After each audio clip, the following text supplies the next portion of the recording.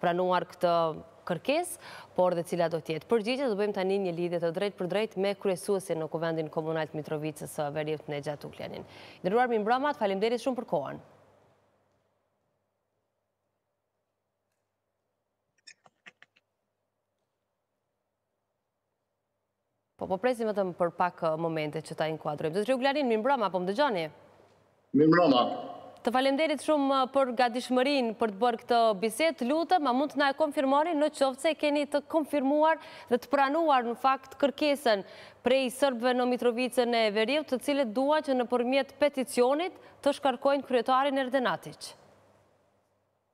Po, po sot e kemi pranuar kërkesën nga do përfaqësues edhe iniciues për shkarkimin e kryetarit edhe nismës së peticionit do gabimet ndoshta janë teknike por unë në konsultim Ministri Pushtetit Lokal do t'i marr hapat konkrete dhe do t'i njoftoj nesër, do t'i dërgoj kërkesën Ministrisë Pushtetit Lokal, Komisionit Qendror për Zgjedhje dhe kryetarit të komunës. Zotëri Ugljanin, kërkesa të cilën e kanë parashtruar këta serbë është konform ligjeve të Kosovës, bazuar edhe në atë se si kërkohet të procedohet në udhëzimin administrativ? Po na kemi afat pesëditor për qato do të konsultohemi me Ministri e Pushtetit Lokal që është konform ligjit sepse ata decidivisht s'kanë dashtë me me përcjell kërkesën te kryesusi Kuvendit Komunal qaty do do ka paqartësi sepse qaty thuhet në qatë kërkesë që Komuna s'osht fonksionale dhe që s'ka shërbimet nga administrata komunale në cilësi edhe nivel të duhur edhe për qato jon që unë do të konsultohem me ministrinë pushtetit lokal edhe osht afati pesëditor ku munëm na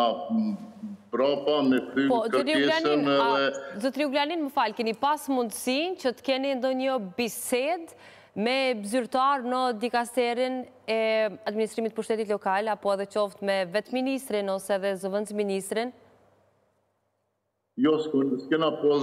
bisedat, por une sipas udhëzimit administrativ po punoj edhe që sipas rregullores edhe na jemi bisedime konkrete kështu meherë është i njoftum ministri i pushtetit lokal përmes zavendëskryetares që kemi pranu kërkesën nga qytetarët nga komuniteti sërb. Zotri Ugljanin a vreni ndonjë lloj gatishmërie të sërbëve atje për të dalë për të nënshkru peticionin nëpërmjet të së cilit Kryetari, qoftë i Mitrovicës së Veriut, Erden Atiq, por edhe të tjerë, do të mund të largohen prej pozitave të cilat i kanë? Po sigurisht që ka gatishmëri sepse iniciatorë për peticion janë tre përfaqësues nga organizatat joqeveritare që në të cilët kanë punu edhe që tash janë inkuadru nëpër institucione paralele por mas kësaj kërkese na e dim cili parti politike është është Lista Srpska edhe na na veç i kemi pranu qat kërkesë nga tri qytetarë edhe tri përfaqsus që tash po shkojmë ma tutje tashmë me hapat konkrete që do të konsultohemi me Ministrinë e Pushtetit Lokal dhe sigurisht që duhet me ardh edhe deri te regjistrimi i